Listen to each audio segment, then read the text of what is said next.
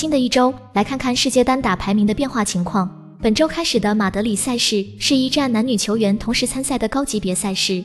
不过在开赛前，依然有不少的球员宣布退赛。男子球员方面，尽管世界第一德约科维奇此前已经宣布退赛，但是一个消息是，无论世界第二阿尔卡拉斯在马德里赛能否夺冠，在排名上都不会反超德约。塞尔维亚人将继续稳居世界第一的位置。本周德约的积分为七千一百三十五分，扣除他去年在马德里进入四强获得的三百六十分。净积分为六千七百七十五分。同样，阿尔卡拉斯扣除去年在马德里夺冠所获的积分之后，还剩下五千七百八十分。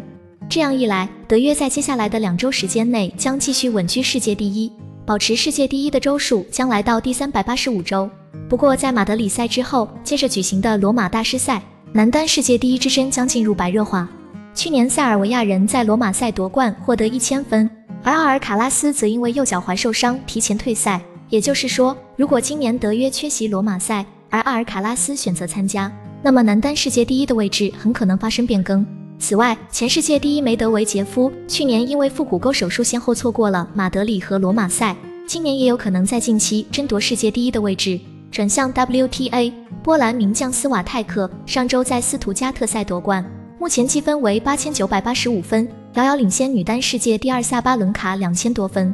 考虑到去年斯瓦泰克因伤缺席马德里赛，因此接下来他将会进一步扩大领先优势。而萨巴伦卡去年在马德里赛首轮爆冷出局，仅获得十分。对于新科澳网女单冠军而言，她在马德里赛也有不错的涨分空间。总的来说，尽管目前男女单打世界第一的竞争非常激烈，但是近两周时间内没有发生易主的可能。另外，从其他球员的排名来看，也有一些值得关注的变化。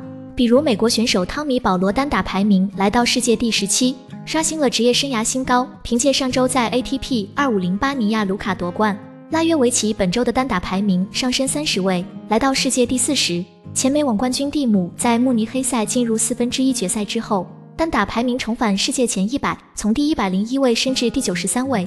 来源：网球之家，作者无理取闹。今天的节目就到这，如果您喜欢我们的节目。